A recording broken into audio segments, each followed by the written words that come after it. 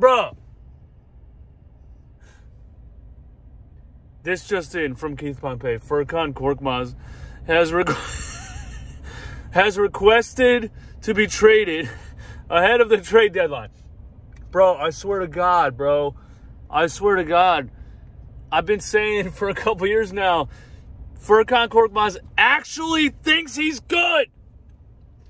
Furkan, they don't call him the Turkish superstar for, for, for no reason.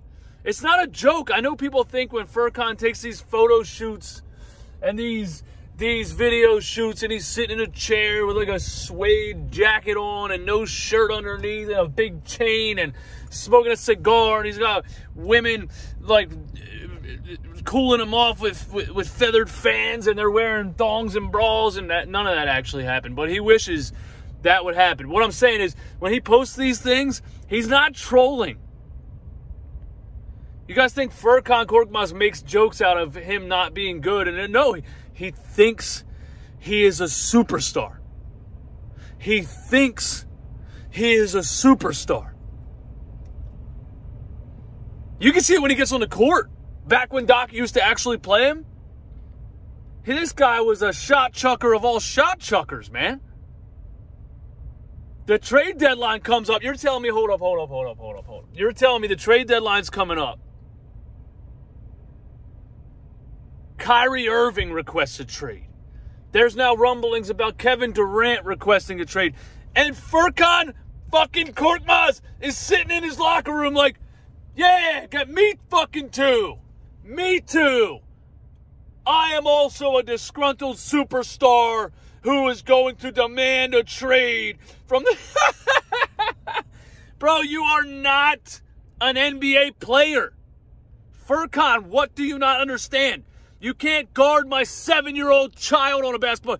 You couldn't guard my dog. You couldn't guard my fucking dog if she was dribbling the ball. She's the size of a large rodent and she would score on you. You are you kidding me? Also this, Furkan, you don't have to request a trade, dumbass. You're going to be in any trade package the Sixers create because you're making $5 million and you fucking suck!